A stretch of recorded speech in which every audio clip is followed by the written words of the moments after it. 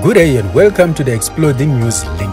We only cover what matters the most. The Correctional Services confirmed that they will file an appeal for the High Court judgment to set aside Zuma's parole decision. On the 15th of December, the High Court in Pretoria has declared Zuma's release on parole unlawful.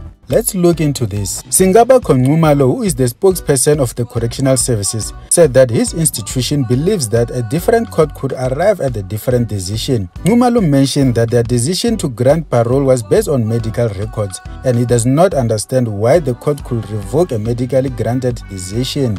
The High Court argued that the parole board had rejected the proposal to grant Zuma parole, but Arthur Fraser, with his authority vested in him, went on to approve it. The judgment also stated that the medical records used by Mr. Fraser for his decision are exactly the same documents that the parole board studied and rejected the parole. The court resolved that Jacob Zuma did not meet the requirements of the Correctional Services Act because he was not suffering from a terminal disease and was not rendered physically incapacitated as a result of injury. But Nxumalo disagrees with the court ruling.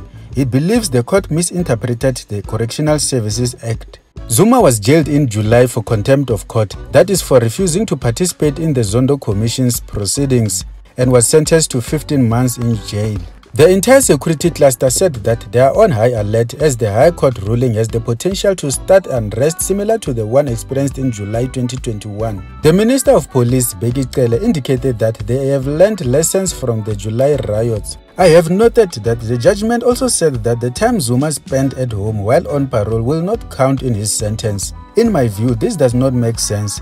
Zuma did not grant himself parole. The correctional services did and he should not be punished for the mishaps in the administration. Let us pack it here. Please comment with your views and thanks again for watching.